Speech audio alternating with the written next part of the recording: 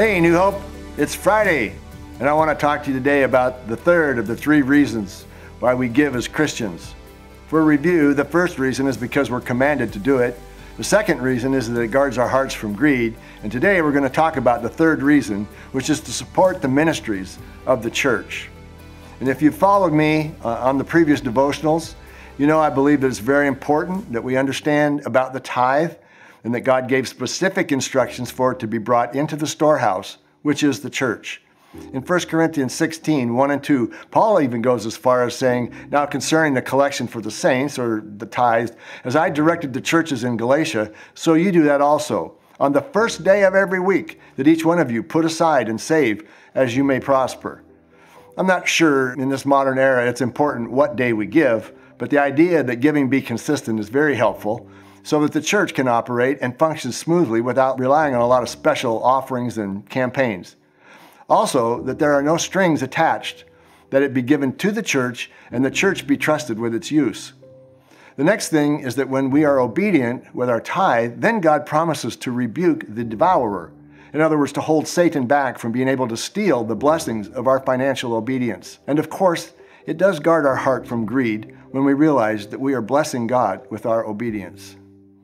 You know God's not mean about this. He doesn't expect us to give what we don't have. But since He is our great provider, I believe He gives us all that He knows we need, including that portion that He asks us for. If believers find themselves unable to be obedient with their tithe, it's my view that they need to talk with God about their stewardship, and about their priorities, and about how they're managing the resources that God has given them. If you remember, Jesus said in Luke 6, verse 38, Give, and it shall be given to you. Good measure, pressed down, shaken together, running over, they will pour into your lap. For by your standard of measure it will be measured to you in return. Once again, the laws of the harvest, they always work. Well, that's a little bit of review from the previous devotionals. I want to emphasize today the third reason why we give. We give to support the ministries of the church. Nowadays, we take our tithes into the church. Going back to the Old Testament, we see where the very first commandment was given to tithe, and it was given with instruction as to how it was to be used for the operation and the ministries of the church. Obviously, culture has changed how that happens, but basically, the tithe is given to the church and it's used in the operation and the basic ministries of the church. The utilities, all the things that it takes to keep the doors open, to keep the wheels on, to keep the staff that we have, all those things are covered by the tithe our Sunday school, children's ministries, youth ministries, music, media ministries, and so on. As a church that's connected with the Church of the Nazarene, we also play our part in helping, as all churches are asked to do, to help with the support of district ministries right here in Southern Florida, and with helping to pay for retired ministers and missionaries. And we are part of a great world missions organization that's in approximately 165 countries with over 550 missionaries.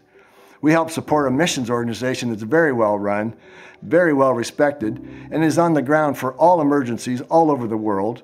And it stays long beyond the news cycle, helping people with their physical needs, with their emotional needs, as well as their spiritual needs. Probably the biggest ministry outflow from New Hope in our budget is the support of our New Hope Grace Evangelical School in Port-de-Paix, Haiti.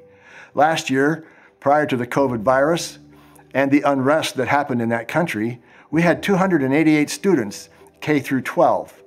Schools there were closed down last spring because of political unrest, and then barely got reopened in the fall. And then all the schools in the country were closed once again because of the COVID virus. Our school opened up two months ago, one of only a few in the region that are open. We currently have between 125 and 140 students, we pay eight teachers to teach all 13 grades, plus a principal and an administrative assistant who is amazing at keeping the wheels on in the face of all that's going on in that country. We feed those children a meal once a day that comes right out of this church budget, helped by a number of very generous people in our church family who monthly support it. We also minister to the Refuge Ranch and the girls that are in that one year treatment program there. It's a blessing to be able to help them and, and help support them. We're very active supporters of CareNet, the crisis pregnancy ministry in Martin and Port St. Lucie counties. A number of people from this church help us support that ministry as well as volunteer there and serve on the staff there. And as we are able, we help out Elevate Hope Ministry in East Stuart, reaching many marginalized families that are otherwise unable to get assistance. In the past, we've helped, and we still occasionally help, with the Lahea Ministry for the homeless.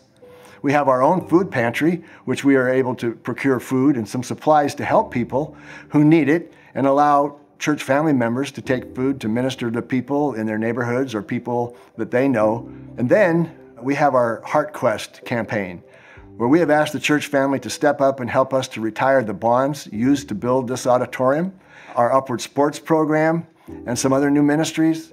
HeartQuest funds are also used for staff development and to help us to be prepared in ministry for the growth that we are trusting that God will send our way. The funds for many of these things I've named, and I haven't named them all, are given as offerings. Offerings are also used to help us to be able to meet people's needs who find themselves out of home or out of work or in desperate need of temporary help financially. All these things we try and do with the amount of funds that come in and as you can imagine, the needs in our community are greater than the resources. And so I finish by reminding you that in the Sermon on the Mount, Jesus directed us to give alms to the poor. Alms are anything given to relieve the poor. It could be money for food or clothing or shelter. But whatever we do, we're not supposed to do it in a way that draws attention to ourselves. However, we need to do it in a way that is observable so that others are encouraged to give as well. Just previously, in the same discussion that Jesus was having with his disciples, he challenged them to let their light shine before men, let their good works be seen by men, so that others would give God the glory and would be encouraged to do otherwise. Alms, as I understand it, is not giving away something that's ours, but rather making available to others what was God's before He gave it to us to use.